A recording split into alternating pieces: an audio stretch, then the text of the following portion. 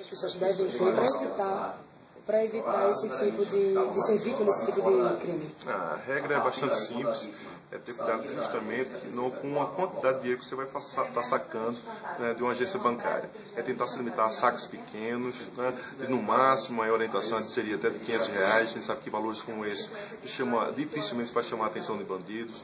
É, se você precisar fazer um saque maior, dê preferência para transferência bancária, faça um TED, faça um DOC. As taxas dos bancos muitas vezes estão oferecendo taxas pequenas que você pode transferir esse dinheiro de um banco para o outro. É, faça mais utilização de cheques, cartão de crédito. Então, o importante é o seguinte, a orientação básica é evite sair com o dinheiro do banco, que aí você vai estar anulando, a palavra certa é essa, anulando a possibilidade de de ser vítima de uma saída de banco. As agências bancárias também podem ajudar, né?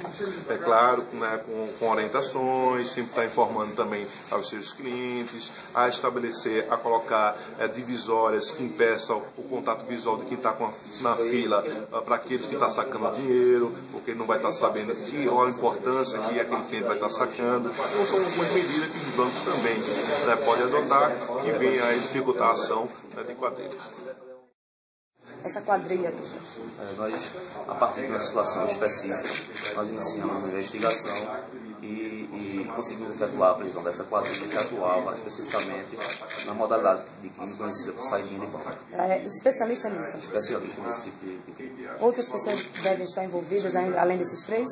Sim, há outras pessoas envolvidas, mas nós já estamos, as investigações estão bem avançadas no sentido de conseguir efetuar a prisão delas.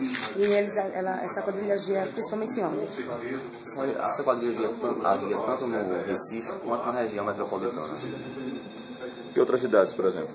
Jabotão de Guararapes, Igaraçu. Qual o papel de cada um? É, havia uma distribuição de funções, que é, eventualmente podia haver uma alternância. Mas, em regra, havia um olheiro que ficava dentro da agência, que era o Gustavo quem fazia, e o Emanuel e o Lucian faziam a abordagem.